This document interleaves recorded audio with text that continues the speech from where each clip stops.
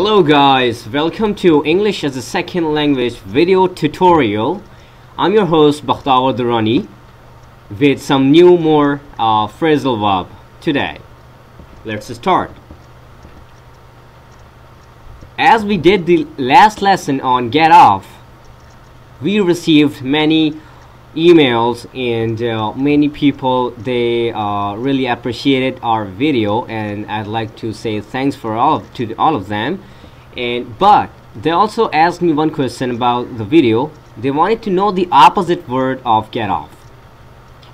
So in this video I'm gonna tell you what would be the opposite word or, or uh, phrasal verb or expression for getting off from anything so as I've told you as I've expounded you that whenever you leave any vehicle or anything uh, that takes you from one place to another place uh, at the time of leaving uh, that uh, thing you say you are getting off the plane. As I told you in the, in the previous video you are getting off the plane motorbike and car or whatever etc okay? So now when you have to be into the car when you have to go into the plane when you have to sit on the motorbike so in that situation you can use get on.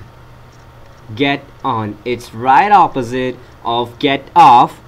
When you say get up get off while uh, leaving uh, the vehicle so while I mean getting into the vehicle or going into the vehicle or start riding it or start driving it start traveling it would be um, uh, would be used as a get on okay?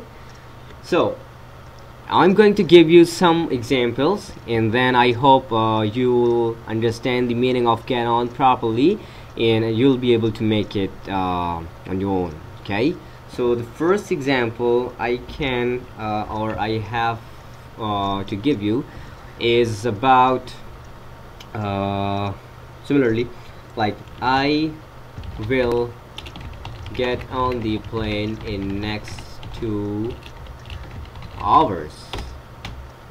Okay?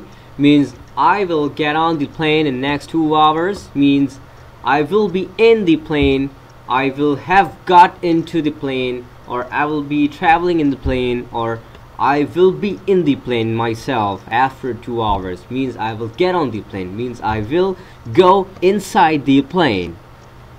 Now the second example could be about motorbike.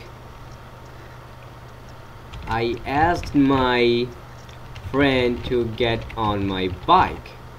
Okay? I asked my friend to get on my bike. Means I told my friend or I uh, ordered my friend to sit on my bike. I told him to sit with me on the bike or I tell him I commanded him to be on the bike on my motorbike. Means to sit on bike to have a ride on it. Now the third example is my family has got on the car. Means I'm telling you that my family has got on the car.